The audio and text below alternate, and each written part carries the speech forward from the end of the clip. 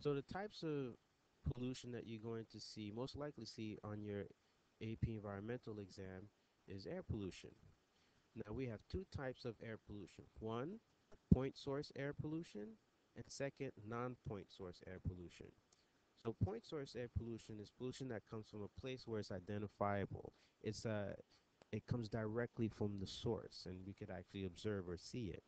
So a couple examples would be uh, large factories, electric power plants, and erupting volcanoes. That would be a, a natural source. In terms of non-point source air pollution, uh, that's pollution that comes from a widespread area, but essentially it forms from the combination of change from the original point source air pollution. Okay, um, so we're to look at a couple examples. Right, so in terms of our primary pollutants, you have uh, the main ones that you should know, you should be familiar with, particulate matter, which is your solid and liquid. These are your fine particles that are uh, 2.5 micrometers or less, so also known as PM 2.5, or coarse. They are um, they have a particle size of 10 micrometers or greater, otherwise known as PM10. So those would be like, for example, your soot, your dust particles, sand, uh, any type of solid particles that you can find, um, debris from debris from from uh, construction materials that get up in, that goes up into the air, asbestos, anything that's small and solid.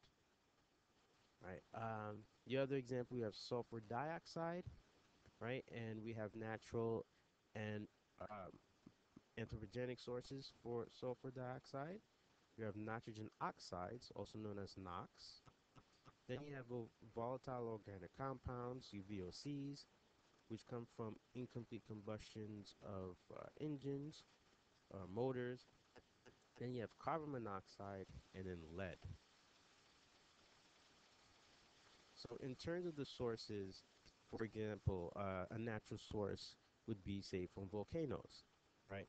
Uh, you know, volcanoes emit carbon dioxide and also uh, sulfur dioxide. Then uh, you have your stationary sources, which would be anthropogenic. So your stationary sources would be your factories, electric power plants, and your mobile sources would be your typical cars, trucks, anything that that it's a mode of transportation. Now, essentially, some of these primary pollutants can be converted into secondary pollutants. For example, we have uh, sulfur trioxide, sulfuric acid, ozone, sulfate.